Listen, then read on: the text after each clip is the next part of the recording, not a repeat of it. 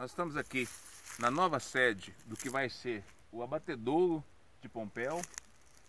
e mostrando aqui as informações que a gente tem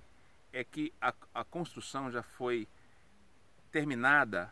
há mais de seis meses e até hoje não foi concedida uma licença ambiental para que o abate de animais da cidade de Pompéu pudesse vir para cá, que é um local adequado, um local apropriado para isso. Enquanto isso, continua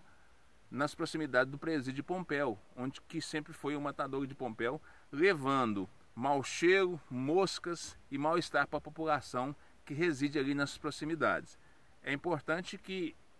Pompéu una forças políticas para que consiga mais rapidamente liberar a licença ambiental para que a nova sede do abatedor possa enfim começar a funcionar.